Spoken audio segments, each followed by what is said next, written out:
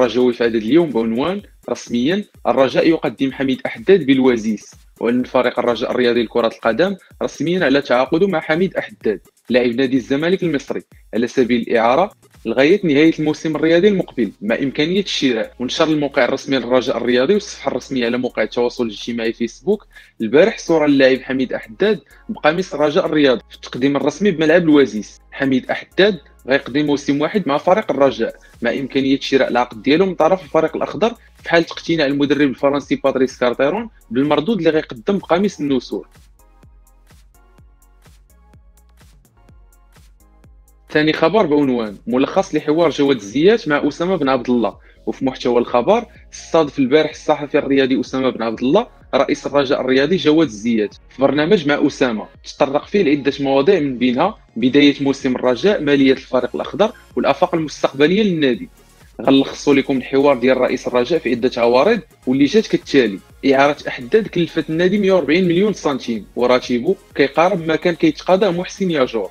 النادي قدم عرض محترم لسند الورفلي لكن اللاعب الليبي كيطالب بمبلغ مالي مرتفع وهذا الشيء ما كيخدمش مصلحتنا المالية. ومصلحة المجموعة ولكن مازال مغلق النادي باب التفاوض معه تم تصعيد تسعود اللاعبين من فئة الأمل. ثلاثة منهم غيعتمد عليهم باتريس كارتيرون بشكل أساسي حيث ابانوا على مردود طيب كيشرف مدرسه الرجاء. بقاء الصابيري وشيميزو من عدمه غيبت فيه المدرب كارتيرون في الأيام القادمة. مازال ما تلقى النادي التعرض بخصوص فابريس نكا أو محمود بن حليب والنادي في مفاوضات مع بن حليب لتجديد العقد. تم فسخ عقد صلاح الدين الباهي في المقابل تنازل على جزء كبير من مستحقاته. المدرب غير مقتنع بسيف الدين العلمي. وهو الآن كيتدرب مع الامال في انتظار التوصل بعرض كيرضي الطرفين. إلا تم التوقيع المهاجم الكونغولي فغالبا غتكون آخر صفقة في الميركاتو الرجاوي. نادي الرجاء كيملك عقد فابريس نغوما كيمتد لثلاث سنوات. عكس ما كتروج ليه بعض الصفحات على أنه فقط معارض. عبد الاله الحفيظي غيكون جاهز بداية شهر نوفمبر وأكاديمية أسباير مشكورة حيت هي اللي تكلفات بجميع مصاريف العلاج افتتاح الأكاديمية كما كان مخطط ليه غيكون أواخر 2019 النادي خرج من الموسم الرياضي 2018 2019 بفائض مالي ويجب استغلاله في التخفيف من الأزمة عبر صرف المستحقات العالقة للاعبين منها منحه كاس السوبر الإفريقي ومنح أخرى في ذمة الفريق وكذلك صرف بعض الديون للمؤسسات اللي كدين الرجاء بمبالغ مالية. النادي توصل اتفاق مع أحد البنوك اللي كان كيدين للرجاء ب 600 مليون سنتيم. نازل لينا على 50% من الرقم المذكور. شريطة تسديد البقية هذا الموسم عبر دفعات غاريدو تنازل على جزء مهم من مستحقاته وتم الاتفاق على صرف الجزء المتبقي عبر ثلاث أشهر واللي دفع فيه النادي الشطر الأول. عند قدوم المكتب الأول مرة تفاجئ للرقم الكبير اللي كيصرف لليما مابيدي. والمتفق عليه في عقد اللاعب مع المكتب اللي جلبه هو مكتب بودريقة سابقا. المكتب الحالي كان باغي يجدد المابيدي في المقابل إيجاد سبل ميسرة لصرف هذه المستحقات عبر أشطر. إلا أن لا غاريدو ولا كارتيرون ما اقتنعوش بمابيدي. وهو أيضا عبر على الرغبة ديالو في الرحيل. هو الآن كيهدد باللجوء للجنة النزاعات في حالة عدم صرف مستحقاته العالقة. إلا أن النادي غيعمل كل ما في جهده لإيجاد حل كيرضي الطرفين. قضية فخر كيتعجب ليها النادي بزاف. حيت كيف يعقل الإبن النادي وكيعرف خباياه والأزمة ديالو ويوقف ضده في الطاس للمطالبه ب 500 مليون سنتيم. وهذا اللي حكمت به الطاس بالفعل إلا أنه يجب انتظار تزكية السلطات المغربية للأمر من أجل تنفيذ الحكم. نجح النادي في دفع أكثر من 50% من مستحقات اللاعبين. من دخول الفريق من بيع منتجاته عبر الإنترنت وصل ل 40 مليون سنتيم. وصلنا لحد الآن 6000 مشترك والعدد في تزايد. 25% منهم طلبوا بطائقهم عبر الإنترنت. تباعت 2500 تذكره خاصة بمباراة بيتيس الودية عبر الإنترنت. في انتظار طرح باقي التذاكر في الشبابيك. رحلة النادي للقدس الشريف غتكون عبر عاصمة الأردن. ثم الدخول إلى رام الله ثم القدس. وإدارة الفريق الفلسطيني هي اللي غتكلف بهذه العملية. حنا فقط علينا إرسال لائحة البعثه وهما اللي غيتكلفوا بعبورنا للقدس. بدينا الاتصالات مع سفير المملكة في رام الله من أجل تسهيل رحلة الجمهور الرجاوي كذلك.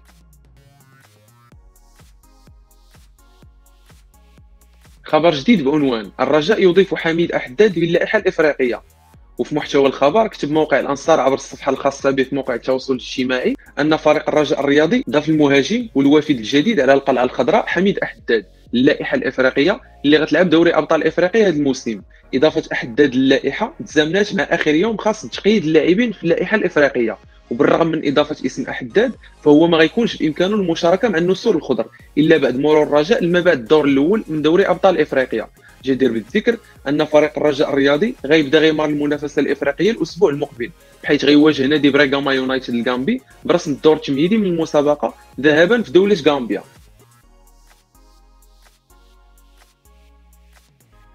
خبر آخر بعنوان الرجاء يرسل اللائحة الإفريقية الخاصة بعصبة الأبطال للكاف. وفي محتوى الخبر ارسلت إدارة فريق الرجاء الرياضي للكاف لائحة اللاعبين اللي غيخوضوا منافسة دوري أبطال إفريقيا في الموسم الحالي. بحيث كان البارح آخر أجل الفرق المشاركة بالمسابقة الإفريقية تمد الاتحاد الإفريقي باللوائح الخاصة باللاعبين اللي غيشاركوا. في انتظار يناير المقبل اللي غيعرف كذلك فترة أخرى لإضافة لاعبين جداد بالنسبة للفرق اللي مواصلة المشوار في دوري أبطال إفريقيا. فريق الرجاء الرياضي غيكون ممثل باللاعبين الآتيين. الزنيتي بوعميره الحداوي مذكور جبيرة غازوت بانون الحداد نقاد دويك درويش بوطيب كوليبالي الشاكر نقومة نناح العرجون الوردي إصلاح بن حليم متولي الرحيمي الهبطي أحداد الحفيظي. جدير بالذكر أن اللائحة كتضم كذلك اللاعب محسن ياجور اللي مشى للدمك السعودي. في حين تم إضافة إلياس الحداد والحفيظي وحميد أحداد في آخر اللحظات.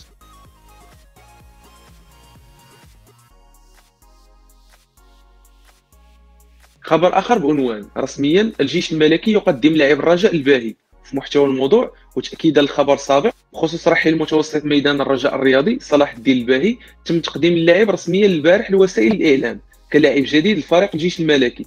اللاعب الباهي تنازل على جزء كبير من المستحقات العالقة بذمه فريق الرجاء الرياضي منها منح التوقيع وبعض منح المباريات باش يتسلم الأوراق ديالو ويتفاوض مع فريق يلعب ليه هذا الموسم. بحكم أن مدرب الرجاء الرياضي باتريس كارتارون استبعدوا من اللائحة اللي غيعتمد عليها الموسم الحالي الشيء اللي خلى إدارة جواد الزيات تنفصل معاه وتفسخ العقد ديالو بالتراضي. مع ضمان عدم اللجوء الباهي للطاس تفاديا لنزاع جديد يقدر يزيد من متاعب الرجاء المادية. صلاح الدين الباهي كيتعتبر رابع لاعب رجاوي كينتدبوا الفريق العسكري في هذا الميركاتو. بعد ما وقع الكل من الحارس باعيو واللاعبين أشرف مرزاق حمزة مجاهد ومؤخرا صلاح الدين الباهي. خبر جديد بعنوان تكريم محمد أولحاج خلال لقاء فيتيس وفي محتوى الخبر قررت إدارة الرجاء الرياضي تكريم المدافع الرجاوي محمد أولحاج في اللقاء الودي اللي غيجمع الأحد المقبل نسور الخضر بفريق ريال فيتيس الإسباني. وكيسعى فريق الرجاء من خلال هذا التكريم. لشكر محمد أولحاج على المسار الكروي ديالو مع الفريق والتضحيات اللي دار طيلة المقام ديالو مع النادي بحيث قضى تقريبا 11 سنة مع الفريق الأول بعد ما تدرج في جميع الفئات السنية لنادي الرجاء الرياضي. وطيلة هذه السنوات توصل بعدة عروض ملي كان في اوج العطاء ديالو منها عروض خليجية وأخرى أوروبية. لكن فضل يستمر مع الفريق آنذاك بحكم حاجته ليه في ذيك الوقت. وكيتعتبر محمد أولحاج من اللاعبين اللي كيحظوا باحترام الجمهور الرجاوي وكذلك جماهير الفرق الأخرى. اللي كيشوفوا في اللاعب الطيبه وحسن الأخلاق. وبدورنا كنتمناو مسيره موفقة لمحمد أولحاج في المسار الكروي ديالو. وكنشكروا على السنوات اللي قدم مع النادي بحلوها ومرها. نمروا معكم الفقره الثانية من Journal Vert ونتكلموا لكم على الميركاتو الرجاوي.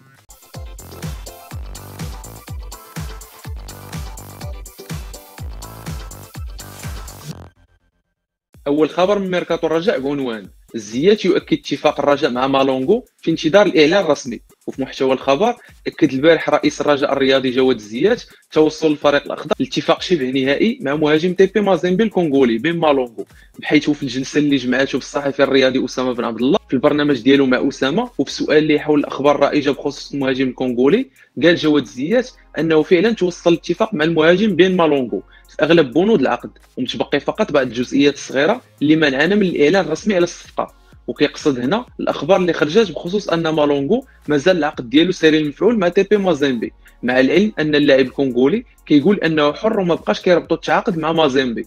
حسب المصادر ديالنا فاللاعب وقع على العقد مع الرجاء لمدة ثلاث سنوات. والإعلان الرسمي غيتم بعد التأكد من أن اللاعب حر وما كيربطوا التعاقد مع الفريق ديالو السابق. جواد الزيات أكد أنه في حاله الإعلان الرسمي على ضم مالونغو فغيغلقوا الميركاتو ويكتفيوا باللاعبين اللي انتدبوا لحد الآن. خبر آخر بعنوان. مروان الهدودي بقميص الرجاء الرياضي الموسم المقبل. وأكد رئيس الرجاء الرياضي جواد السيات انه من بين اللاعبين اللي دايرينهم في المخطط ديالهم في الميركاتو الشتوي أو الموسم المقبل. كاين لاعب الدفاع الحسني الجديدي مروان الهدودي اللاعب اللي كيتعتبر ابن مدرسة الرجاء وتدرج في جميع الفئات السنية للنادي بحيث سبق ليه وجاور بدر بانون ووقع ليه محمد بودريقة الرئيس السابق عقد احترافي مع الرجاء آنذاك. قبل ما يستغنى عليه المدرب السابق محمد فاخر ويغادر صوب فريق الدفاع الحسني الجديدي. اللاعب مروان الهدودي مازال ليه سنة واحدة مع الفريق الدكالي ويصبح لاعب حر. جلسته إدارة الرجاء الرياضي وقنعته بالتوقيع الفريق في الموسم المقبل لنسور الخضر. في حاله ما تمش الاتفاق مع الدفاع الجديدي بجلب اللاعب خلال الميركاتو الشتوي المقبل. كان هذا آخر خبر رجاوي في عدد اليوم من جورنال